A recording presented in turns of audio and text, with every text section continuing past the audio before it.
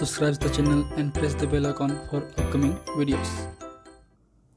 Hello friends, welcome to my channel Pharmacology Concepts by Rajesh Chaudhary and in this video I will discuss about the basic pharmacology of gonadotropin releasing inhibitors means the drugs which inhibit the releasing of gonadotropins तो आज video में हम बात करेंगे गोनाट्रोपिन releasing इमिटर्स के बारे में basically दो क्लास में डिवाइड हैं एक है आपका G N R H antagonist एक है आपका G N R H agonist और ये एगोनिस्ट और एंटागोनिस्ट दोनों ही एक तरीके से जी एन की रिलीज़ को मीन्स गोनाट्रोपिन की रिलीज़ को, चाहे वो एफ़ एस एच हो या एल एच हो, दोनों की रिलीज़ को कम करते हैं। कैसे कम करते हैं? चलिए हम इस वीडियो में समझते हैं।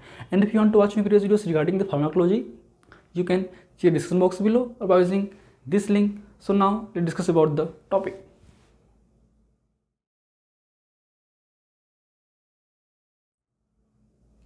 So G N R H agonist and antagonist जैसे हमने कहा कि चाहे वो एगोनिस्ट हो, चाहे एंटागोनिस्ट हो, दोनों ही अल्टीमेटली जो इनका इफ़ेक्ट है, दोनों ही गोनेट्रोपिन रिलीजिंग को कम करते हैं। They inhibit the release of और secretion of the gonadotropins so उसमें से पहला क्लास है आपका super active long acting G N R H means gonadotropin releasing hormone agonist ये आपके एगोनिस्ट हैं। उसमें ड्रग की बात करें, उसमें आते हैं गोसेरेलिन नेफारेलिन लुप्रोलिड एंड टिप्टोरेलिन बात करें लोग G N R H antagonist की तो उसमें ड्रग आते हैं आपके जेनीरेलिक्स सिट्रोरेलिक्स डिकारेलिक्स एंड एबारेलिक्स तो ये दोनों चाहे वो एंटागोनिस्ट हो, चाहे एगोनिस्ट हो, दोनों ही आपके जो रिलीज़ है, आपके सिक्रीसन है, आपके गोनोट्रोपिन्स के, उसको कम करते हैं। तो बात करते हैं हम इसकी फार्माकोलॉजी के बारे में वन बाय वन तो first we should discuss some basics about the G N R GnRH agonist. So basically, uh, these drugs are 10 to 15 times more potent than the natural GnRH. ये जो drug हैं आपका जो super active long acting G N R H agonist हैं वो 10 से 15 गुना अधिक potent होता है आपके natural G N R H से।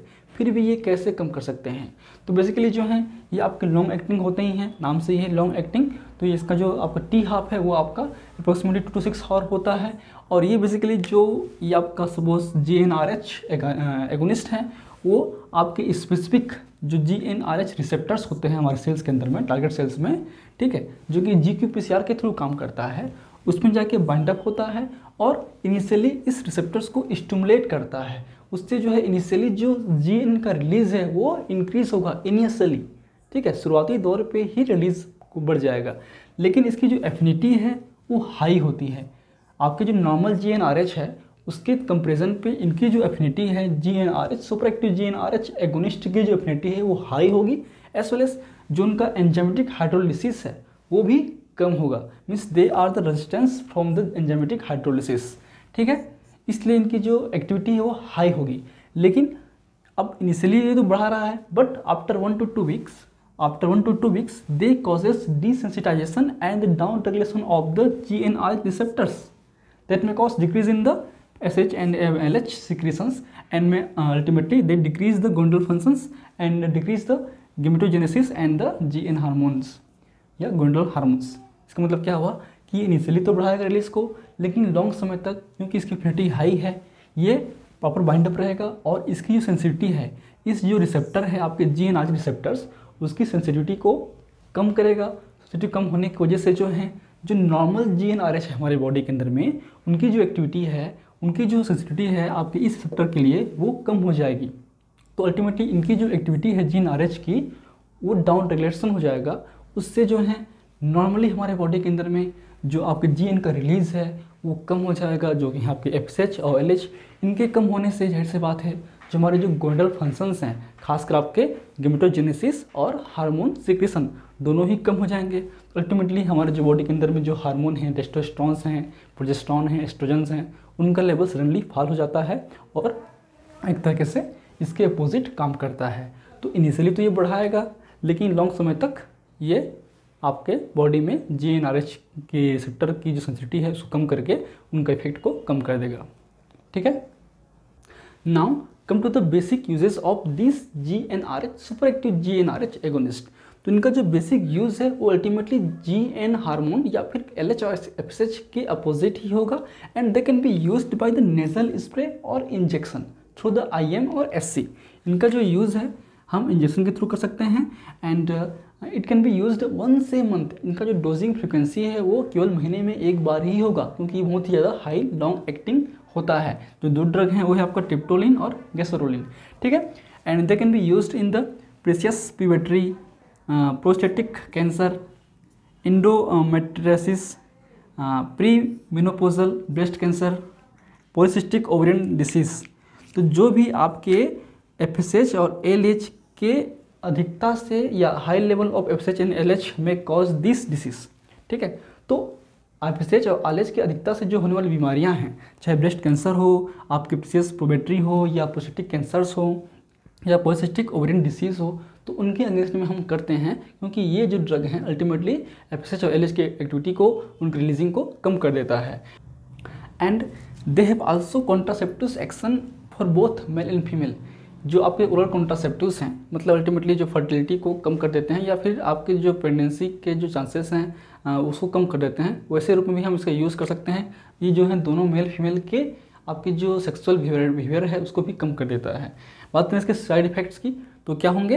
Menopausal symptoms like headache sweating hot flushes mood changes vaginal dryness amenorrhoea loss of libido ये कुछ बेसिक एडियार्स हैं और ये जितने भी एडियार्स हैं, कहीं ना कहीं आपके जो एफएसएच या एलएच हार्मोन हैं, उनकी कमी से होने वाले सिम्टम्स हैं, ठीक है?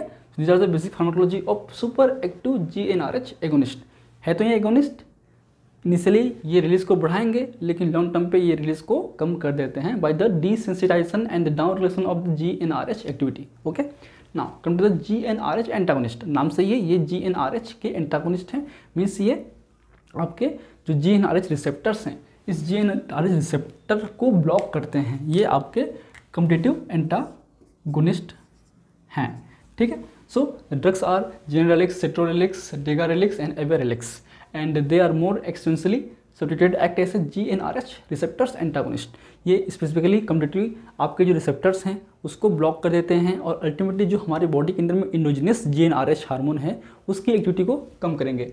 And they decrease G N secretion without initial stimulation ये क्योंकि इंटागोनिस्ट हैं, ये आपके स्टिमुलेट नहीं करते हैं इनिशियली ये डायरेक्टली जो जी एन के रिलीज़ है उसको कम कर देते हैं। And the ganirelix and cetrorelix are the short acting drugs S C daily ये जो आपका ड्रग हैं, दो ड्रग हैं जीनेलिक्स और सिटोलिक्स दोनों ही शॉर्ट एक्टिंग ड्रग हैं, इसलिए इसको हम डेली हम दे सकते हैं और इससे हम जो जीन रिलीज़ है उसको कम कर सकते हैं। And they are approved for the inhibiting L H surges during the controlled ovarian stimulation in women undergoing the in vitro fertilization तो इन विट्रो फर्टिलाइजेशन के दौरान जो आपके वुमेन हैं, उनमें आपके जो ओवरी का ओवर स्टमुलेशन है, उसको कम करने के लिए हम इस ड्रग को यूज़ करते हैं, ठीक है? And they have some advantages over the long acting G N R H agonist क्योंकि ये ड्रग एंटागोनिस्ट हैं, ये एगोनिस्ट हैं तो कुछ इसके फ़ायदे हैं as compare to the agonist के। वो क्या है, हम देखते हैं। So first they shows the quick they show the quick response ठीक है? They show the quick suppression of the G N hormone ये क्विकली ही, तुरंत ही आपके सप्रेशन कर देते हैं आपके जी एन रिलीज़ को मीन्स गोनोट्रोपिन रिलीज़ को, चाहे वो एल हो सॉरी एफ़ एस एच हो या फिर एल एच हो। उसके अलावा बात करें it is a lower risk they have a lower risk of ovarian hyper stimulation syndrome तो जो भी ओवरिन हाइपर स्टमुलेशन सिंड्रोम होते हैं, वो इनमें कम हो जाते हैं, जो इसमें ऑलरेडी रहते हैं। तो ये जो जो हैं आपके, इसके अपोजिट मतलब इसके एडवांटेजेस हैं। फिर they achieved more compete more complete suppression of the endogenous G N secretion एक तरीके से ये जो हैं, आपके जीन सिक्रेशन को कम्प्लीटली इनिबिट कर देते हैं। क्योंकि ये आपके सिलेक्टिव नहीं है मतलब ये आपके एगोनिस्ट नहीं हैं, ये इंटागोनिस्ट हैं, ये आपके रिसेप्टर को ब्लॉक करके उनके रिलीज़ को कम कर देंगे। क्योंकि जीएनआरएच रिलीज़ होने के बाद ही गोनोट्रोपिन्स रिलीज़ होगा। जीएनआरएच की एक्टिविटी अगर नहीं होगी आपके जी रिसेप्टर्स पे तो कहीं ना कहीं आपके जो रेसिग्रेशन है वो कम्प्लीटली नहीं होगा। So this are the basic advantages over the G N R H agonist so this are the basic pharmacology of this drugs and few to know this lecture please take screen shot and if you like my videos please press the like button share with your friend and any feedback please comment the comment section that motivates me for the coming videos in last thank you keep watching